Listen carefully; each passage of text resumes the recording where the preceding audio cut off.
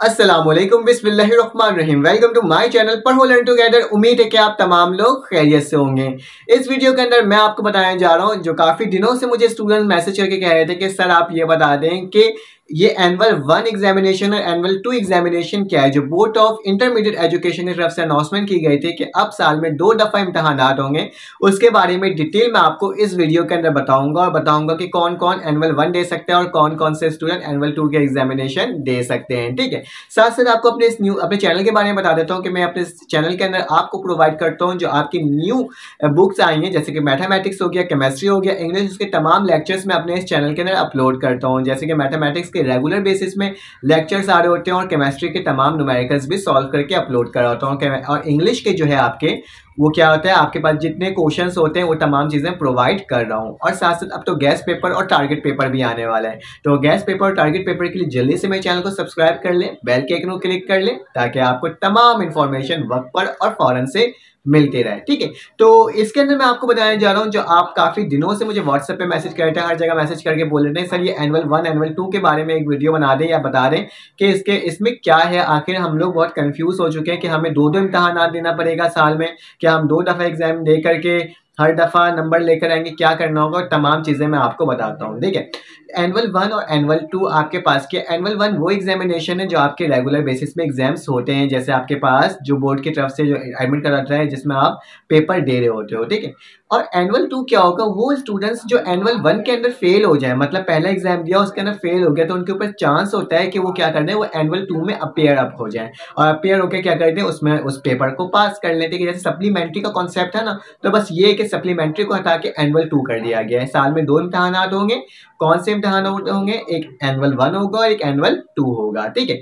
Annual one में क्या होगा? एनुअल वन के अंदर आपके एग्ज़ाम जो होते हैं, तमाम चैप्टर्स तमाम सब्जेक्ट्स जो होते हैं, उसके होंगे। एनुअल टू क्या होगा? जो बच्चे एनुअल वन में फेल हो जाएँगे, वो क्या करेंगे? वो एनुअल टू में अपेयर होकर के उसमें अपने आप को मतलब कि पास हो जाएँगे। लेकिन एक और बेनिफिट इसका ये है कि अगर कोई बच्चा एनुअल वन वन का एग्ज़ाम दे करके मतलब कि उसकी जो परसेंटेज आती है, वो अच्छी नहीं आई, ख़राब आई है ये याद रखना, रिज़ल्ट के बाद ही होगा। एनुअल वन का जब रिज़ल्ट आ जाएगा, उसके बाद एनुअल टू होगा। ठीक है? इस तरह से होगा।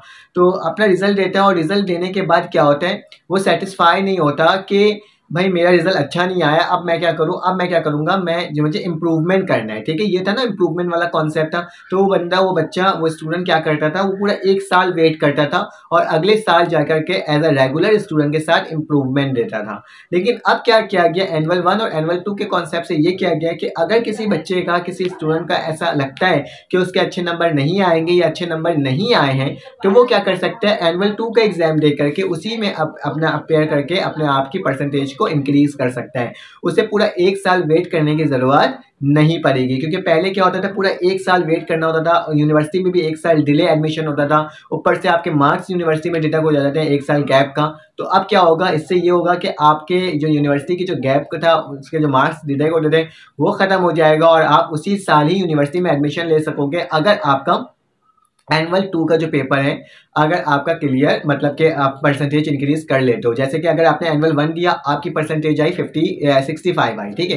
सपोज़ और आपको एक ऐसी फ़ील्ड चाहिए किसी यूनिवर्सिटी में जो कि क्लोज हो रही है तकरीबन सेवेंटी में, ठीक है?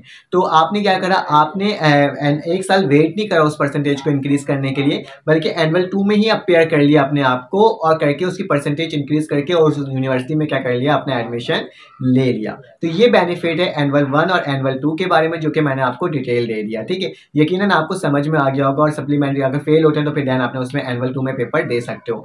हर बच्चे को ये नहीं है कि एनुअल टू देना लाजमी है, ठीक है? बस आप पर डिपेंड करता है, अगर आपको नंबर बढ़ाना है तो आप एनुअल नंबर टू में दे दे पेपर अगर आपके परसेंटेज ऐसी अच्छी आई तो एनुअल वन ही आपके लिए क्या होगा? काफ़ी होगा। साथ साथ मैं आपको ये बता देता हूँ कि मैं अपने चैनल के अंदर मैथमेटिक्स से chapter number one chapter number two chapter number three chapter number four chapter number six chapter number eight chapter number ten chapter number eleven और चैप्टर नंबर सेवन और चैप्टर नंबर ट्वेल्व भी अपने channel के अंदर upload कर रहे हैं। आप जाके उसे चेकआउट कर सकते हो। तमाम क्वेश्चन सॉल्व करवा रहा हूँ। और केमिस्ट्री की जो आपके पास है chapter number one chapter number two chapter number four के नुमेरिकल्स जो हैं, वो तमाम सॉल्व करके अपलोड कर दिया। बहुत जल्दी नेक्स्ट चैप्टर्स के भी अपलोड करने जा रहा हूँ इनशाला और साथ साथ इंग्लिश के chapter number one chapter number two chapter number three के तमाम क्वेश्चन भी आपको प्रोवाइड कर दिए। बुक के तमाम एक्सरसाइज भी सॉल्व करवा दिए तो आप जाके उसे भी चेकआउट कर सकते हो, क्योंकि गैस पेपर टारगेट पेपर आ रहा है। है, वो भी अब जल्दी से प्रोवाइड करूँगा। साथ साथ मॉडल पेपर जो है इंग्लिश और मैथमेटिक्स का, वो भी अपलोड है मेरे चैनल के अंदर, आप जाके उसे भी चेकआउट कर सकते हो।